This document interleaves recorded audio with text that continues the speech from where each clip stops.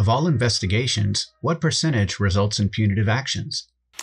Uh, in short, all of them. Um, if we are conducting an investigation, it has become clear to us that something has occurred which represents risk or presents risk to our organization, and we need to take some kind of corre- corrective action on that.